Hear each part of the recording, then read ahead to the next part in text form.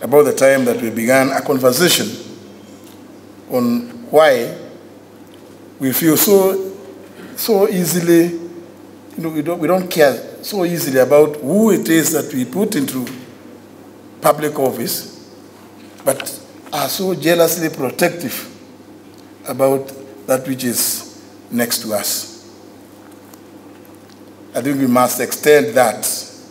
That similar concern. The Residents Association doesn't have a lot of uh, resources, but you contribute to what is done by your association in your locality. And you are going to, you would go to any length to protect and to ensure that you don't have rascals being put uh, to end that. But you are, too, you are too willing to say it doesn't matter anyway. Uh, because he belongs to a political party, let's put him there. Ladies and gentlemen, I am talking about the need for integrity and discipline, which must go with um, leadership in uh, national and county governments.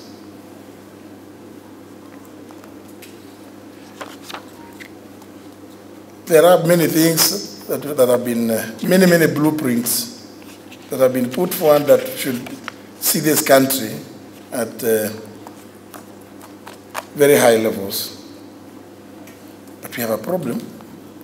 We have a problem in achieving them.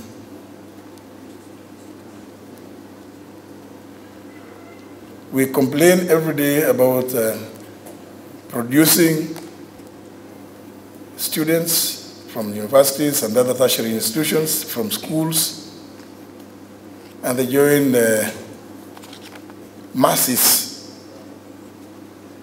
who are unemployed. We don't seem to care about that. We must have policies that are implementable, are implemented by people who are willing to do the job and people who are willing to be accountable.